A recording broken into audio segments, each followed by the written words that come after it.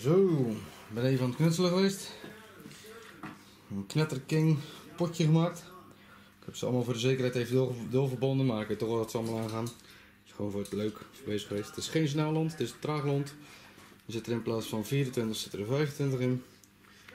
Nou, ik zeg, we gaan hem gewoon doen jongens buiten. Later. Nou, komt ie.